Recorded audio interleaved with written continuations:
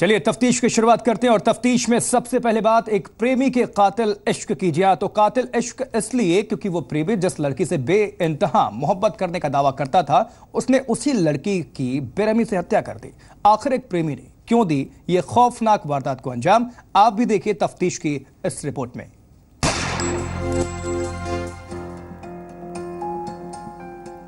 ग्वालियर में एक प्रेमी ने अपने ही हाथों अपनी प्रेमिका की जान ले ली। बेरहमी से गला रेत कर प्रेमिका को मौत के घाट उतार दिया और उसके बाद उसने खुद को भी गंभीर रूप से घायल कर लिया। एक प्रेमिका, खूनी इश्क। मोहब्बत में प्रेमिका का मर्डर। वारदात ग्वालियर के जनकगंज इलाके के संजय नगर की है। सतपाल उर्फ़ लल्ला नाम के इस युवक ने बुधवार देर शाम मनीषा की हत्या करने के बाद उसके घर वालों को खबर दी कि उसने मनीषा का मर्डर कर दिया है। और उसके शव को वो संजय नगर की पहाड़ियों से आकर ले ले। मैंने उसको गला घोंट के मार दिया। कब मारा? कल संजय को। उसके घर पे किसके घर? पहाड़ पे मैं। किसके घर पे? घर पे किसी के नहीं मारा। पहाड़ पे मारा मतलब बुला के मारा। वो आई थी मेरे पास। आपने क्या किया? ब्लेड मारेंगे अपने आप में। तो आप आप भी अपने आप को खत्म करना चाहते हैं? क्या करना चाहते हैं? खत्म। दरअसल सतपाल पिछले चार साल से मनीषा से मोहब्बत करता था लेकिन उनका ये रिश्ता शायद घर वालों को पसंद नहीं था। इसी बीच कुछ वक्त पहले मनीषा के घर वालों ने उसका रिश्ता कहीं और तय कर दिया और फिर इसी बात से नाराज़ सतपाल ने इस खूनी वारदात को अंजाम दे दिया। घटना ये हुई, हम दोनों प्यार करते चार साल से। लड़की है, एक मनीषा। चार साल में प्यार करते। तो घर वाली मेरे से राई आते उसको मैयो और उसको मारती। मेरे से कही थी, उसको लेकर भग गया। मैं मैं लेके नहीं भाऊँगा उसको। पर मारती। तो मैंने कहा हाई मेरे को मार दो। हम मुझे नहीं पाएँगे। मेरा भाई शादी होने लग गई। सगाई और किसी संग कर दी मेरी। खुद ही किसके संग कर दी है? मैंने बताई नहीं। तो मेरे को मार दी बस। तुमने फिर क्या किया? मैंने उसको गला घोंट के मार दिया। मनीषा का मर्डर करने के बाद सतपाल ने खुद की भी जान लेने की कोशिश की लेकिन पुलिस वक्त रहते मौके पर पहुँच गई और फिर सतपाल को इलाज के लिए अस्पताल लाया गया। कल इसके घर वाले बात मांगने गए थे। लड़की घर में अकेली थी। इसने लड़की को बुलाया और ऊपर पहाड़ी पे लड़की का गला ब्लेड से काट दिया। क्यों हत्या की सर? क्या प्रारंभिक जाँच है इस लड़की की करीब छः महीने पहले आंतरी में कहीं संबंध तय हो गया है जो लड़का नहीं चाह रहा था। और वो लड़की पर दबाव बना बना दबाव बराबर बनाए हुए था कि शादी होगी तो मेरे साथ होगी। उसी के चलते उसने हत्या की है। सतपाल जिस लड़की से मोहब्बत करता था उसी को उसने अपने ही हाथों मौत के घाट उतार दिया। और अब कोर्ट और कानून। उसके इस गुनाह की सजा तय करेगा। फ़िलहाल इस वारदात को देखने और सुनने के बाद हर कोई सन्न है। शरद श्रीवास्तव, इंडिया 24/7 ग्वालियर। और सरहद पार से देश को बर्बाद करने की साजिशें लगातार जारी हैं। पंजाब के फिरोजपुर में नशे के बड़ी खेप के साथ हथियारों का बड़ा जखीरा भी बरामद हुआ है और मौत के इस खेप ने जहाँ सुरक्षा बलों के होश उड़ा दिए हैं, वहीं कई सवालों के जवाब तलाशने के लिए तफ्तीश भी तेज हो गई है रिपोर्ट।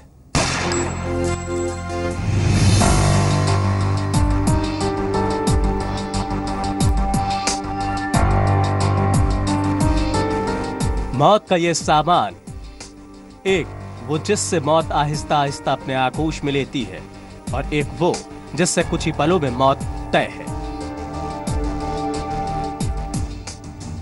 जी हाँ, नशे की ये खेप और हथियारों का जखीरा सबूत है उस नापाक साजिश का, जिसे देश की जवानी को तबाह करने के लिए यहाँ लाया गया। तस्वीरें फिरोजपुर के सरहदी गाँव पुराण बारेके की हैं। डीआरआई को जानकारी मिली थी कि हेरोइन की बड़ी खेप बॉर्डर से इस पार आ चुकी है। डीआरआई ने बीएसएफ के साथ मिलकर कार्रवाई की और पूरे गाँव की तलाशी ली गई। तलाशी के दौरान एक आरोपी खेतों में छिप गया, लेकिन कई घंटों की मेहनत के बाद दो आरोपी प्रकाश और अंग्रेज़ को गिरफ़्तार कर लिया गया। जीआरआई टीम को देखने के बाद उसने भागना शुरू कर दिया। तो आप काफ़ी हॉट चेज के बाद उसे वहाँ पे इंटरसेप्ट किया गया बॉर्डर के पास में। वहाँ पे बीएसएफ की टीम भी थी। तो बीएसएफ की टीम की प्रेजेंस में उनके असिस्टेंस से उसको वहाँ पे इंटरसेप्ट किया गया। आरोपियों की निशानदेही पर एक घर की तलाशी ली गई तो वहाँ से एक नहीं दो नहीं बल्कि इकतीस पैकेट हेरोइन बरामद हुई और साथ में एक पिस्तौल इकसठ कारतूस चार मैगजीन भी बरामद हुई। खुलासा ये भी हुआ है कि पकड़े गए आरोपी पहले भी तस्करी के मामलों में शामिल रहे हैं। 31 पैकेजेज हैं उसकी अभी पेमेंट चल रही है तो इट कैन बी अराउंड 30 के जी तीस किलोग्राम के आसपास होना चाहिए। Uh, इसके अलावा और भी कई चीज़ें रिकवर की गई हैं। एक पिस्टल है सिक्सटी वन कार्ट्रिज हैं प्रोहिबिटेड बोर के हैं। और uh, और क्या है मंदिर चार मैगजीन हैं। सरहद पार से रची गई एक बड़ी साजिश को तो नाकाम कर दिया गया, लेकिन सवाल ये कि बार बार होने वाले स्मगलिंग को कैसे रोका जाए? फ़िलहाल ये पता लगाने की कोशिश की जा रही है कि हीरोइन की इस खेप की सप्लाई कहाँ की जानी थी और हथियारों का इस्तेमाल किस लिए होना था। गुरुदर्शन सिंह, इंडिया 24/7 फिरोजपुर। और एक सरकारी कर्मचारी, जिसकी सैलरी महज ग्यारह हज़ार रुपए है। लेकिन लोकायुक्त पुलिस ने, जब उसके यहाँ छापा मारा तो खुलासा हुआ कि वो सरकारी बाबू करोड़पति है। तीन तीन कंस्ट्रक्शन कंपनियों का मालिक मध्य प्रदेश का कौन है वो करोड़पति, सरकारी कर्मचारी और लोकायुक्त के छापे में उसके पास और क्या कुछ बरामद हुआ? चलिए देखते हैं। मध्य प्रदेश में लोकायुक्त पुलिस ने एक और सरकारी घूसखोर को बेनकाब कर दिया है। इस बार लोकायुक्त पुलिस के शिकंजे में आए। पीडब्ल्यूडी विभाग में काम करने वाले time keeper, Durgapal Singh Parmar. Lokayukta police ने दुर्गापाल के डबरा के मकान पर छापा मारा तो टाइम कीपर दुर्गापाल के पास करोड़ों की संपत्ति का खुलासा हुआ। लोकायुक्त के छापे में दुर्गापाल सिंह के पास तीन कंस्ट्रक्शन कंपनियाँ, दो मकान, एक प्लॉट, पाँच लग्जरी गाड़ियाँ, तीन डंपर, दो जेसीबी मशीनें चार लाख तिहत्तर हज़ार रुपए कैश और लाखों के गहने के साथ ही दस बैंक अकाउंट का खुलासा हुआ। अब तक की छानबीन में दुर्गापाल सिंह के पास से करोड़ों की चल अचल संपत्ति होने का खुलासा हुआ है। छापे के दौरान उनसे चार लाख तिहत्तर हज़ार तीन सौ रुपये नकदी, तीन डंपर, दो जीप, एक बाइक और दो ट्रैक्टर आदि के कागजात मिले हैं। ज़मीन की रजिस्ट्री वगैरह मिली हैं। तकरीबन डेढ़ करोड़ के आसपास की संपत्ति मिली है। हैरानी की बात यह है कि दुर्गापाल सिंह का वेतन अभी महज ग्यारह हज़ार रूपए है। इस हिसाब से 26 साल की नौकरी में अभी तक का निवेश करीब 18 लाख रुपए होना चाहिए। लेकिन दुर्गापाल की मौजूदा प्रॉपर्टी इससे कई गुना ज़्यादा है। समय जब ये भर्ती हुए थे उन्नीस सौ नवासी में तब तीन सौ रुपये मिला करते थे और अब ग्यारह हज़ार रुपये का करीब इनको वेतन मिल रहा था। इनकी पत्नी भी निम्न श्रेणी शिक्षक है। उसको भी टोटल कुल मिला के पैंतीस लाख रुपए की इनकम होती है। तो इनकी जो बचत काट के करीब सत्रह से अठारह लाख रुपए निवेश करने का अधिकार था इनको, लेकिन उसके बावजूद इन्हें एक करोड़ चालीस लाख से एक करोड़ चालीस लाख से ऊपर की संपत्ति इनसे मिली। महज कुछ हज़ार रुपए की तनख्वाह पाने वाला सरकारी कर्मचारी दुर्गापाल सिंह तीन तीन कंस्ट्रक्शन कंपनियों का मालिक बन बैठा। उसके पास करोड़ों की संपत्ति है। ऐसे में यह समझना किसी के लिए भी मुश्किल नहीं। कि दुर्गापाल ने ये प्रॉपर्टी कैसे बनाई होगी। शरद श्रीवास्तव, इंडिया 24/7 ग्वालियर। और इधर यूपी के झांसी में बीजेपी नेता रविंद्र शुक्ला पर तेजाब से हमला हुआ है और हमले में बीजेपी नेता समेत पाँच लोग झुलस गए हैं। हमले के पीछे ज़मीन का विवाद बताया जा रहा है। मामला शहर कोतवाली के दक्षिण बाग इलाके का है और वारदात के बाद भारी संख्या में बीजेपी नेताओं और कार्यकर्ताओं ने कोतवाली पहुंचकर हंगामा किया। और नारेबाजी की। रविंद्र शुक्ला का आरोप है कि राजू कबरिया नाम के शख्स ने हमला करवाया है। पुलिस पर भी लापरवाही का आरोप लग रहा है। शिकायत के बाद एसएसपी ने चौकी इंचार्ज को लाइन हाजिर किया है और केस दर्ज कर पुलिस ने आरोपी राजू पटेरिया और बबलू पटेरिया को गिरफ़्तार किया है, जबकि अन्य की तलाश जारी है।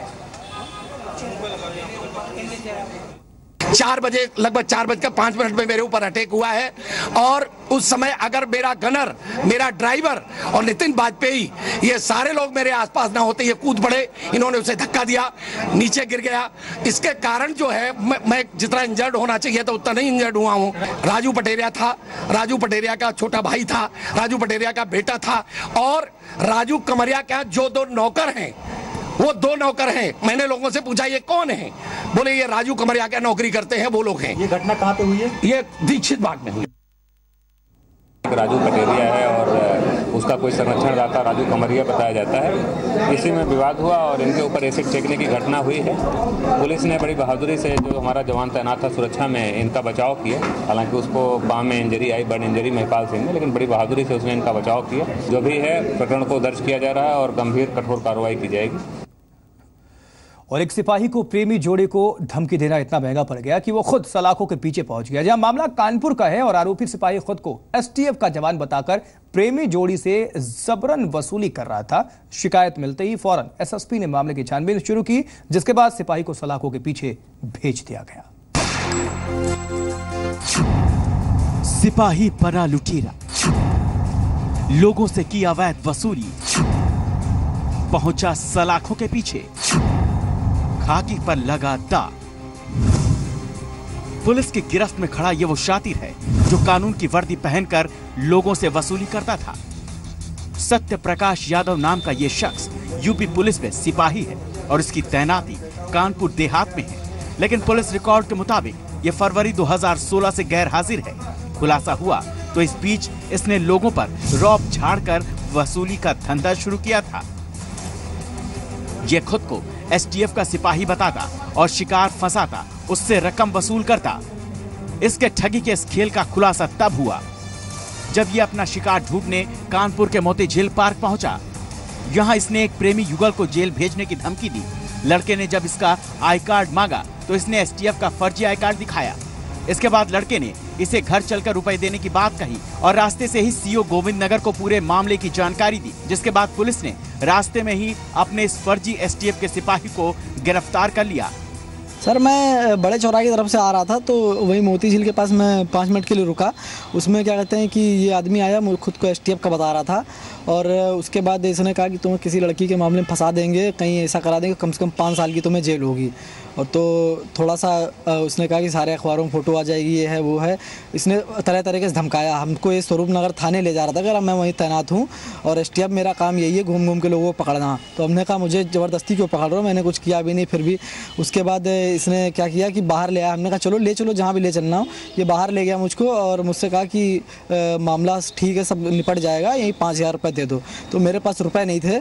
तो हमने कहा कि भैया ठीक है, आप हमारे घर तक चलिए, हम रुपए आपको दे देते हैं। मैं डायरेक्ट वहाँ से आके गोविंद नगर थाने में गाड़ी लगा दी। जब यहाँ पे गाड़ी लगा दी तो कुछ साथ पुलिस वाले हैं, उन्होंने दबोच लिया इसको जब इससे पूछताछ की तो ये कोई फ्रॉड लग रहा है और बताया जा रहा है कि 2015 में शायद ये किसी मामले में जेल भी गया था और ये वहाँ से क्या कहते हैं, जेल जाने के बाद ये बहाल नहीं हो पाया है और फिर भी ये 2016 में ऐसे लोगों को पकड़ के टप्पेबाजी का शिकार बना रहा है। केवल ये सबसे पाँच हज़ार दो हज़ार किसी की ये लोगों का फ़ायदा उठाता है केवल।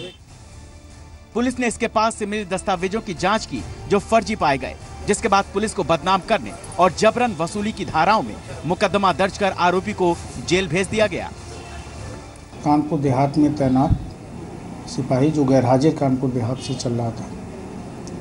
सत्य प्रकाश यादव जो पूर्व में भी 2015 में एक अभियुक्त कमल शर्मा के भागने में जेल गया था। तो वहाँ पर उससे उसको धमका के पैसे की मांग कर रहा था, जिस पर मैंग ने गोविंद नगर थाने के पास पैसे देने की बात कह के उसको यहाँ पर ले आया और यहाँ पर ला करके पुलिस को सौंपा है। इसमें अभियोग पंजीकृत किया जा रहा है। मैंग की तहरीर पर अभियोग पंजीकृत करके उनको जेल भेजा पुलिस की जाँच में यह भी खुलासा हुआ है कि सत्यप्रकाश नाम का यह सिपाही, इससे पहले भी पुलिस अभिरक्षा में कैदी भागने के मामले में जेल जा चुका है। साथ ही फरवरी 2016 से अब तक गैर हाजिर होने के चलते इसका कैरेक्टर रोल पहले से ही खराब था। कानपुर पुलिस अब इस शातिर के खिलाफ रिपोर्ट बनाकर शासन को भेजने की तैयारी में है। योगेंद्र प्रताप सिंह इंडिया 24/7 कानपुर। उधर भदोही ज़िले में यूपी पुलिस का संवेदनहीन और शर्मनाक चेहरा देखने को मिला है, जहाँ जहाँ गोपीगंज थाना पुलिस ने शिनाख्त करवाए बगैर ही लवारिस शव का पोस्टमार्टम करवाकर निस्तारण कर दिया।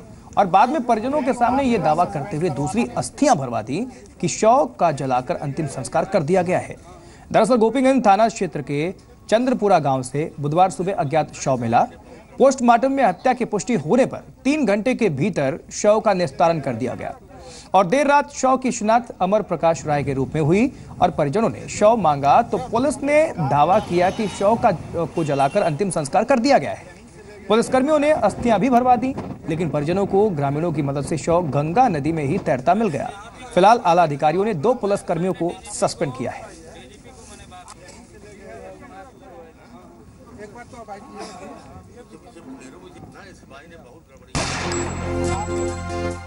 तो यशो साहब ने कहा कि बॉडी का दाह संस्कार कर दिया गया है। और हम लोगों को एक सिपाही के द्वारा यहाँ भेज के एक मटकी में हमको राखी उठवाई गई है। अस्थि की अस्थियाँ को अस्थियों की अस्थियों की हड्डी उठवाई गई है। और उसके बाद जब हम लोगों को फिर हम लोगों को लगा कि यहाँ कुछ हो सकता है तो हम लोग आए, कुछ लोगों को नदी में डाले तो सामने एक बोरे में कुछ दिखा तो हम लोगों ने खिंचवा के उसको बाहर निकाला, वो लाश आप लोगों के सामने है। नहीं इस प्रकरण में जाँच की गई तो ये पाया गया कि दो सिपाही थान, थाना गोपीगंज के जिन्हें यह ज़िम्मेदारी दी गई थी कि पोस्टमार्टम के बाद अज्ञात शव का ये विधिवत अंतिम संस्कार कराएँगे जो नियमानुसार कराएँगे लेकिन उन्होंने ऐसा न करके जल प्रवाह कर दिया जिससे ये समस्या उत्पन्न हुई। अब समस्या खत्म हो चुकी है। उन दोनों सिपाहियों को मेरे द्वारा निलंबित किया जा चुका है। भदोही जनपद की पुलिस इतनी असंवेदनशील हो गई है कि जिसके बारे में न तो मुझे कहने की ज़रूरत है, न मैं आप लोगों से रिक्वेस्ट करूँगा मीडिया से दरखास्त करूँगा कि इस मामले को ऊपर तक ले जाएँ और मुख्य माननीय मुख्यमंत्री तक ये जानकारी होनी चाहिए भदोही जनपद की पुलिस कितनी असंवेदनशील है। और अब एक हैरान करने वाली खबर, उत्तर प्रदेश के सीतापुर से, जहाँ एक भाई ने अपनी बहन के प्रेमी की गोली मारकर हत्या कर दी। वो भी इसलिए क्योंकि उसकी बहन का प्रेमी कम पढ़ा लिखा था। वारदात के बाद से पूरे इलाके में सनसनी फैल गई। वाक्य शहर कोतवाली के तरीनपुर का है। दरअसल आरोपी की बहन जिस शख्स से प्यार करती थी, उसके साथ शादी के विरोध परिवार वाले भी करते थे। बाद में दोनों परिवार शादी के लिए राज़ी हो गए, लेकिन लड़की के भाई को अभी तक रिश्ता नागवार गुजर रहा था। और रिश्ते को लेकर आरोपी की अपनी बहन से कहासुनी भी हो गई थी। फिर क्या था? आरोपी ने अपनी बहन के प्रेमी को दिन दहाड़े गोली मार दी। गोली सिर में मारी गई थी। घायल को लखनऊ ट्रॉमा सेंटर भी रेफर किया गया था, लेकिन उसकी जान नहीं बचाई जा सकी। पुलिस ने आरोपी के खिलाफ केस दर्ज कर लिया है, लेकिन अभी तक वो फरार है। कहने बुलाया भी चलो, झाड़ फूक कर रखा है। उसके बाद लिए चले गए घर का उनके अपने। उसके बाद में उनका मार देने कुछ कहें जहाँ घरिया में है लिए चले गए। कितने लोग थे? दो लोग। कौन लोग थे? पुत्तू पुत्ती और सियारा।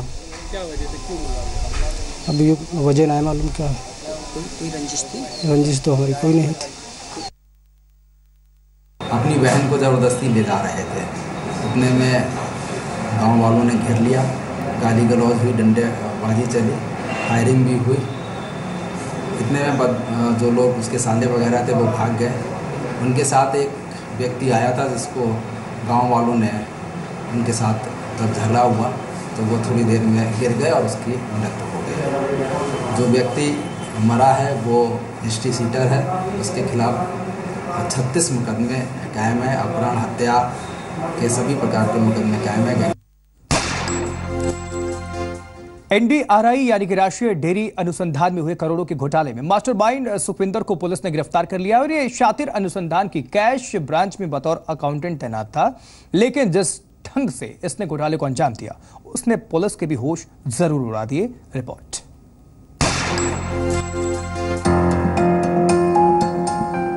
हरे हरे नोटों से भरा ये बैग और पुलिस के गिरफ्त में चेहरा छिपा के बैठा ये शख्स सबूत है कि करोड़ों के उस घोटाले का, जिसे कुछ ही महीनों पहले अंजाम दिया गया था।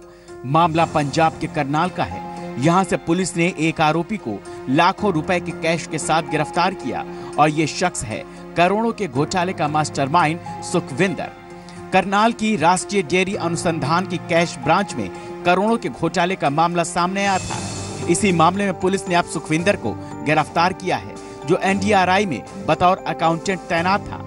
पुलिस के मुताबिक इनके फर्जी तरीके से करोड़ों रुपए अपनी पत्नी भाई और अपने खाते में ट्रांसफ़र किए थे। एनडीआरआई में एक फेलो साइंटिस्ट द्वारा फ्रॉड करके एक करोड़ बाईस लाख रुपए एनडीआरआई के अकाउंट से निकालने का था।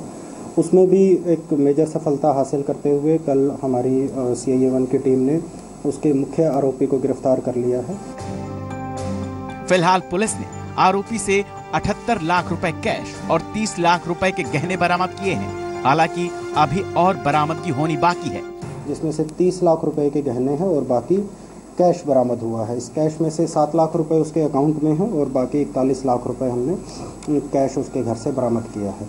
अभी उससे पूछताछ चल रही है और हम उसका रिमांड भी लेंगे ताकि और जो व्यक्ति इसमें संलिप्त हो सकते हैं उनके बारे में भी हम जानकारी जुटा सकें। फ़िलहाल पुलिस ने आरोपी का रिमांड हासिल कर लिया है। और उससे पूछताछ हो रही है। पुलिस के मुताबिक आरोपी से कई खुलासे होने की उम्मीद है। ये भी पता लगना बाकी है इसके साथ और कौन कौन शामिल था। करमजीत सिंह, इंडिया 24/7 करनाल। और तीसरी आँख ने एक बार फिर एक चोर को सलाखों के पीछे पहुँचा दिया है। खबर फरीदाबाद से सामने आई है, जहाँ एक बैंक कर्मचारी ने कस्टमर के कैश को पार तो कर दिया, लेकिन वो तीसरी आँख से नहीं बच पाया, रिपोर्ट।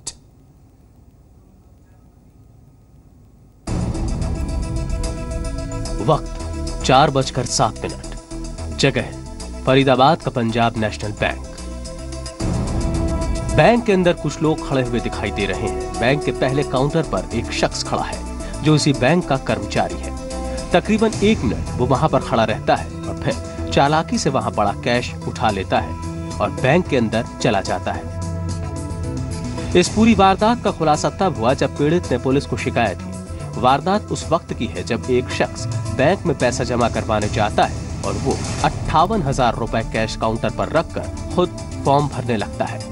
इतने में ही पास खड़े बैंक सफ़ाई कर्मचारी रंजीत की नज़र पैसों पर पड़ती है और वो कैश लेकर फरार हो जाता है और किसी को खबर तक नहीं होती। लेकिन तीसरी आँख में सब कैद हो गया और अब आरोपी अपने किए पर बचता रहा है। गलती हो गई, सर। जैसे क्या सोचा था आपने किस तरह से आपने ये पैसे चुराए? बस दिमाग काम नहीं करा सर पैसों को देख के लालच आ गया। कैसे कैसे समझिए सर आपका रिटायरमेंट का टाइम आने वाला है। आपकी पूरे चौवन साल हो गए काम करते करते इससे पहले भी कभी ऐसा लालच आया था? नहीं आया सर।